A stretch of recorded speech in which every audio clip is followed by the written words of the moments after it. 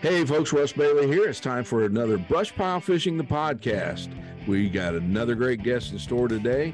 A guy that actually tournament fishes with his wife, uh, U.S. veteran. Uh, so, you know, we're always proud to, to have them on our show. Mike Six is going to join us. We're going to stay right here in Ohio. So, you stay tuned. We'll be right back with Brush Pile Fishing, the podcast.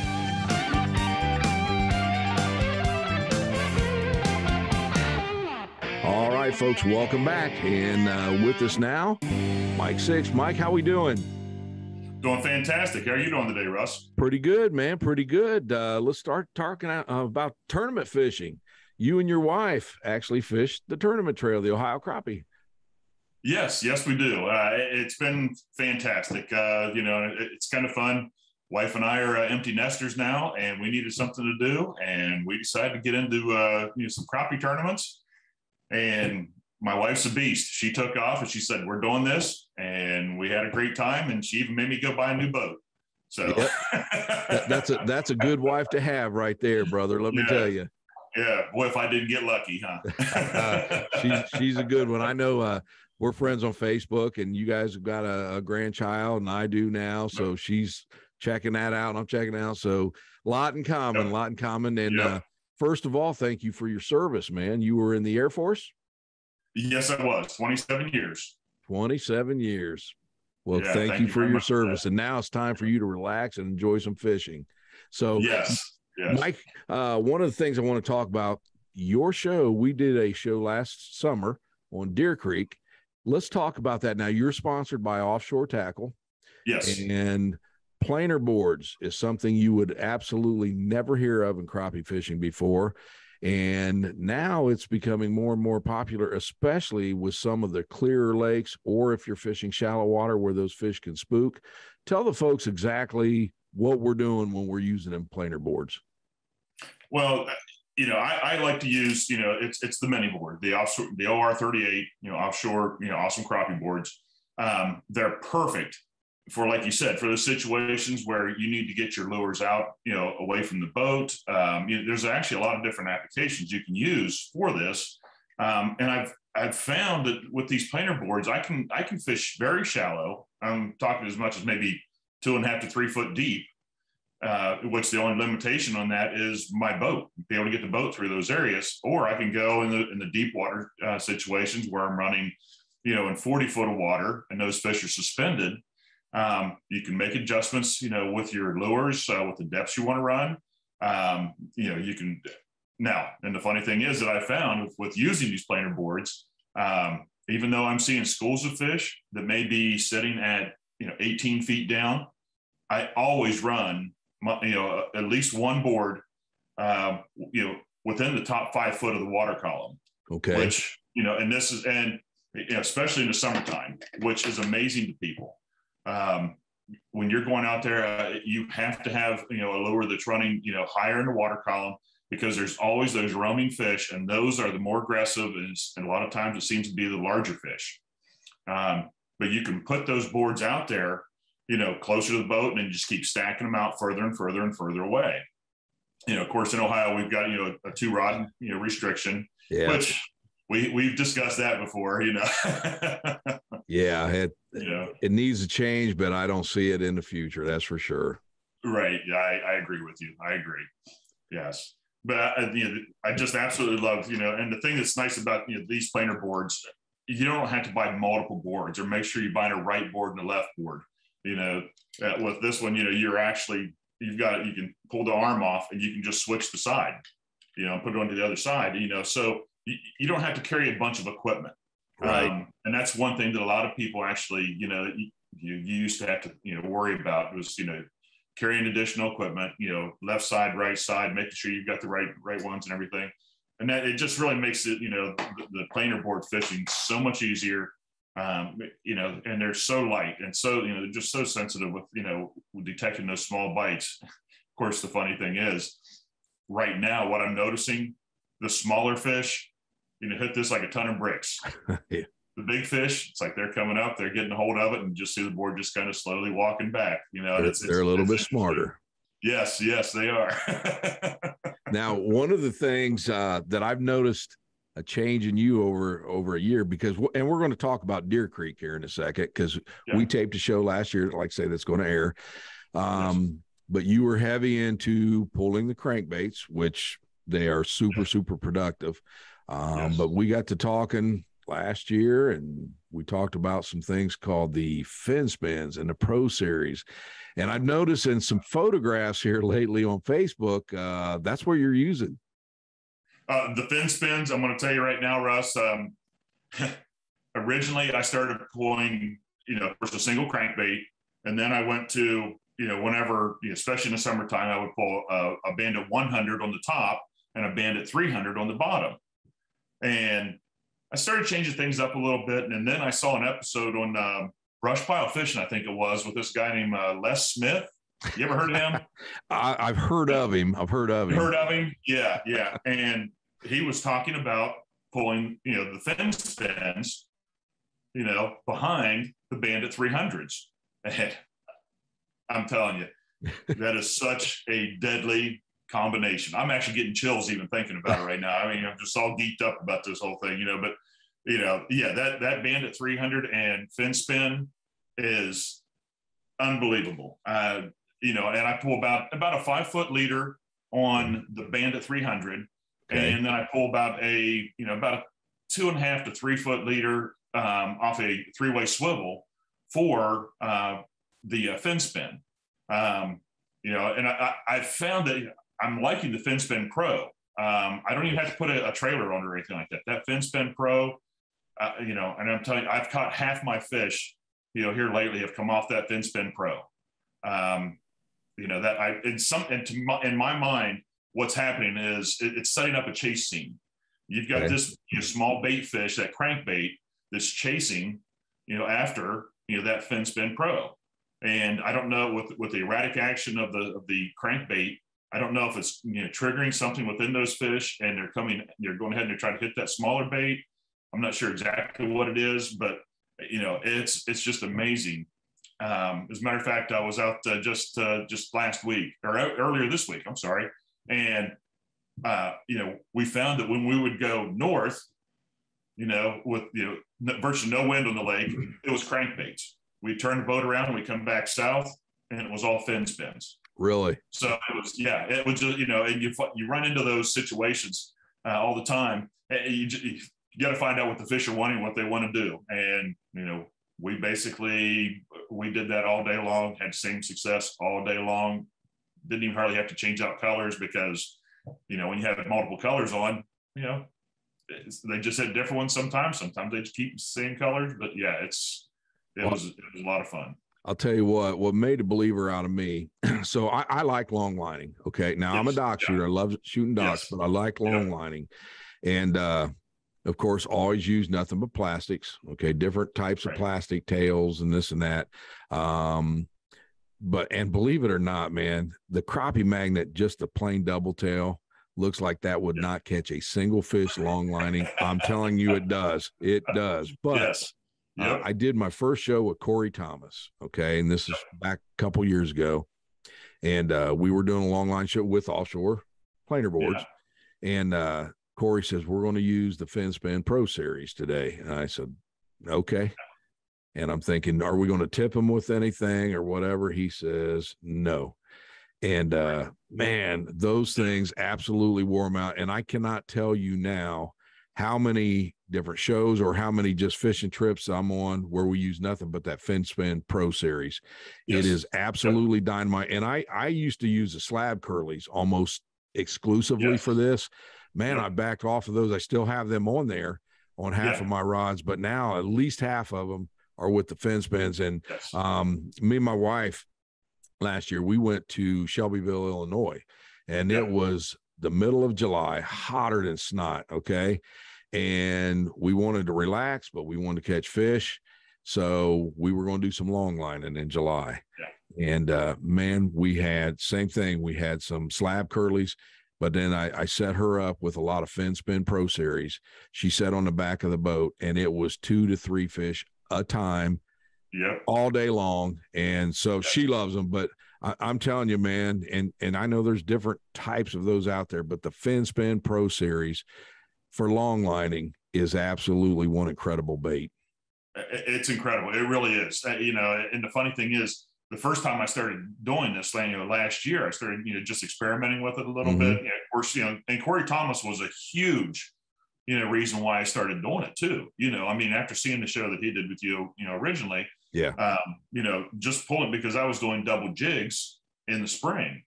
Um, you know, and of course I was, I was, I couldn't get in my head, you know, you got to tip it, you got to do something, you know, and, you know, we, a matter of fact, it was uh, Indian Lake know, it was the first, one of the first times I did it. I started tipping with a minnow. I put a minnow, a live minnow, on that that uh, fin spin. All I was doing was catching saugeye. I mean, it was you know every time. So I took the fin spin or the the minnow off and just ran a straight fin spin. Boom, boom, boom. You know, started picking up you know the crappie. And it was just, you know, I was like, okay, you know, Corey, I'm a, I'm a believer, you know. well, and now, did you see the new product this year? Oh my They got with eye hole. Yes. So you can get these with the eye holes in them from Eye Hole yes. Jig Company. Man, this thing's yes. going to be dynamite, you know, yes. to keep those slab bites in there. So, uh, yeah, it's like I say, man, one of the things that keeps the brush pile fishing show fun for me to do is, you know, I've been fishing a long time because I'm old. Yeah. All right. Yeah. But it's still every time that I go out, with a different angler. I'm still learning things, still changing the way I feel about things. Yeah. Um, and I and I and I think I've told people before. I think that's what keeps our show different. Is instead of you seeing me doing the same thing week after week, that's why we get different right. guests because crappie fishing, there's so many patterns, techniques, things are constantly changing, and we try to bring it all to you. But man, I still learn stuff every time I'm taping with somebody. I love it. Yes. Uh, uh, well, and the thing that's amazing about this, you know, um, I was out Tuesday, you know, with some walleye guys, um, you know, Jake Romanak. Mm-hmm. Uh, we went out and, you know, like I said, they're walleye and salmon, you know, now granted, they're hunters and fishermen and everything too, but, you know, they pull boards, you know, all year long. Yeah. And when I took them out, even with them pulling, uh, you know, boards the way they do and, and using crankbaits and different things like that, they were absolutely amazed, you know, that being able to pull a crankbait and a jig and how effective it was. And half your fish coming off the crank, half of it coming off jigs. And, and we're talking guys that have been fishing for a long time, you know, just like, you know, like you were saying, you know, his dad is a leader in industry. As a matter of fact, his dad is one that actually really um, helped the DeShawnos put together the offshore planer board. Mm-hmm. You know, so that whole design, you know, and, and these guys coming down from Michigan and, and seeing the, you know, some of the different things that to pick up the styles, the technique, so it's amazing just like you said you know you go to you know different lakes you have different fishermen there's always going to be somebody that has a new idea that wants to try something and i'll be darned if it doesn't work and, and it becomes you know something more commonplace sure uh, and, and, just like you know i mentioned you know les smith um, I can see there's going to be a lot of people you know um, that are doing using that technique out there um, be you know the way he does it, you know, with using a, a 20 foot rod with a three ounce weight, you know, dropped out in front of the boat. Which to me, trying to pull up with a two to three pound, you know, crappie out of Mississippi with that is amazing. I just I couldn't imagine. But you know, eh, but this is another technique, you know, pulling behind the boards, doing the same thing that he's doing. It's just that I'm using my crankbait to get my jig down to the depth that I'm trying to run. Good deal. Be- before we take off, let's. I want to narrow it down to two lakes. Let's talk about Deer Creek, okay? Yes. Because yes. that's one of those lakes in Ohio. You just you re- you really don't hear anything about it. Um, we've got a show that's going to air here in a couple days that we did together, yes. and uh, that was a summer show. Tell the folks a little bit about Deer Creek. Deer Creek is, is it's such a, a, typical Ohio lake. It's a reservoir lake, you know, it's a, a drawdown lake. Mm-hmm. Um, and a lot of people overlook, you know, a 1300 lake. You know, it's just, it's one of those that, um, you know, you'll go out and you'll fish and you've got a lot of water there. Yeah. It's, it's not, you know, a massive lake. It's not 4,000. It's not, you know, 10,000 acres or anything like that. But you go out there and it really holds some great fish. Um, you know, you've got you know you have of course a deeper end and a shallow end. Uh, we just had a tournament down there. Um, well, before our break, really, it was back in you know in, in early June, and you know the tournament is that was actually won you know up in the Creek Channel. You know, mm-hmm. which you know just a few feet deep, you know, and and let you know you know you're looking at live scopers. Um, yep. Guys that were doing a lot of that, uh, spider riggers, uh, still very effective. Um, so the lake sets up for any kind of type of style that you want to fish. You know, I enjoy you know pulling crankbaits. I enjoy pulling you know the fin spin pros. You know, so I can do that. Um, if you want to cast into structure, you know, there's plenty of structure you know on that lake that you can work. Not really the docks as some people like do the dock shooting. Uh, you know, that's not really an option a whole lot. But uh, you know, you can still pitch you know uh, pitch bobber and cork or uh, cork and jig. You know, there around the marina. Yeah. Um, you know, so there's a lot of options on that lake. Um, you know, in summertime, I'm a firm believer that that lake in the summertime is probably one of the best lakes, you know, out there that you can really get onto. Um, it's a lot of fun. Um, I am amazed. Um, and you'll see, you know, the folks will see, you know, in their video that, that we do, um, you know, what Monday releases, mm-hmm. uh, they'll see that, you know, there's some really good sized fish, yep. you know, on that lake. Um, and they're aggressive, you know, and the black crappie, you know, are so aggressive on that lake. And, and the numbers, the numbers yes, of fish. Yes, the numbers is it's just amazing. Um, you know, it, it's a lot of fun. You know, I'm so fortunate to live as close as I do to a lake like that, and and still be an hour from all the other Great Lakes, mm. you know, mm-hmm. around here that, that we can fish. Um, it, yeah, and you know, great. you know, folks, uh, anytime we have a, a show air uh, you know, we'll have people message me or text me if they know my number and they'll say, Hey, what area were you catching those fish? Well, this is not going to be a secret when Deer Creek airs because we uh, we fished a few areas, caught some fish, and then we ended up in one spot where it was you couldn't keep rods in the water, um, and you'll see the buoys of the beach in the background. So we were yep. right off the beach, and man, when we hit that area, Mike, I can remember that man. It was like bam, bam, bam. It was on, yep. man yeah, once we got out of the rain, uh, you know, uh-huh. decided to you know give us a break. And and the other thing was was amazing too, and, and we had talked about this during the show. Um, the wind started to pick up a little bit, and, and when, when you would get out of the wind just a little bit, you know, we we, we weren't picking up any fish, so you had to fish where they were. You and know, we we were in the wind. Yeah, we were in the wind, and you know, we just did what the fish told us to do, and we picked them up. Um, and that's what a lot of times you got to do. And that's what I was explaining to Joe, um, the cameraman. You know, when where I search, you know, I'll start in a little bit shallow and work my way out into deeper water. And when we finally found that, you know, that seam that they wanted to sit in, you know, my graph was completely black from the track, you know. yes, sir, man. Yes, sir. So, so let me ask you this before we cut you loose here. Uh, we are actually in the plans. We're going to tape another show here. And yes. uh, you asked me, hey, can we do one on Hoover? And Hoover's another one you don't hear a lot about because mainly because of the horsepower limit, to be honest with you. Yes, yes. So tell the folks a little bit about Hoover and what we're going to be doing here in a couple weeks. Yeah, Hoover's another one of those. Um, like it's it's actually a main feed water for the city of Columbus. Okay. Uh, Hoover and Alum Creek, you know, um, those are there's feed water lakes, you know, for Columbus. Um, Hoover has a lot of homes around it. Um, you know, you know, both sides, um, beautiful homes, but it's got that 99 horsepower restriction. Um, and it keeps a lot of people from from trying it. You know, a lot right. of you know, there's a lot of fishing. You know, even guys that are running you know the 16 foot uh, tracker boats, you know, with their 60 horse motor.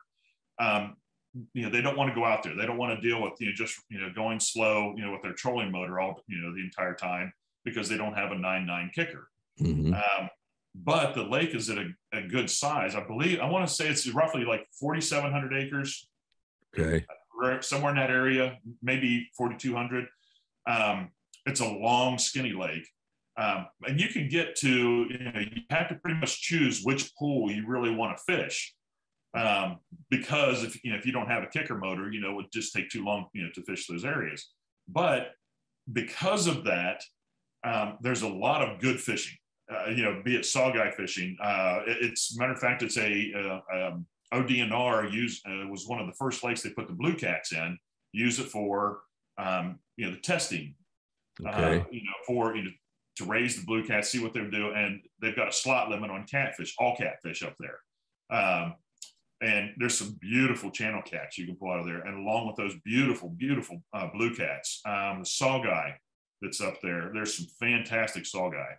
Um, we'll probably run into a gar or two also up there. You know, which you know, if you've been down south, which I know you have, oh yeah, oh yeah.